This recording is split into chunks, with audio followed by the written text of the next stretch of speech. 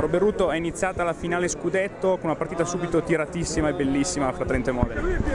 Davvero bellissima, partita che dimostra che c'è stato e che ci sarà un equilibrio secondo me in tutta questa serie di finale, partita anche molto emozionante, tanti italiani in campo, insomma è stato veramente un piacere. Difficile anche forse indicare un favorito in questa finale? È impossibile, io credo che mai come in questo caso davvero si parli di 50-50 e qualche dettaglio farà la differenza. Fa piacere rivedere Modena ad alto livello in finale.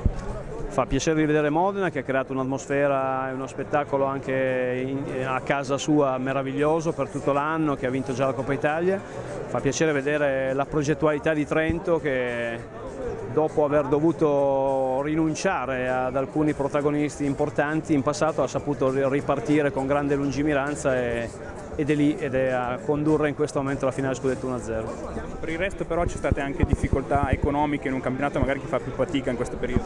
Sì, è un campionato che ha perso un po' di qualità, però ha permesso anche a tanti giovani di giocare di più in ruoli da protagonisti.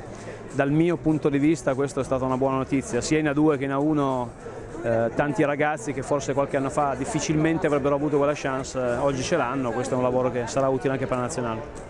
Sappiamo che lei è un grande tifoso del Toro, oggi è una giornata molto particolare. Eh, ho potuto giusto mettere una cravatta che celebrasse questa, questa giornata, che è una giornata chiaramente triste ma che anche ricorda la forza di un patrimonio che non è solo del Toro, è di questo paese che ha rappresentato il Grande Torino.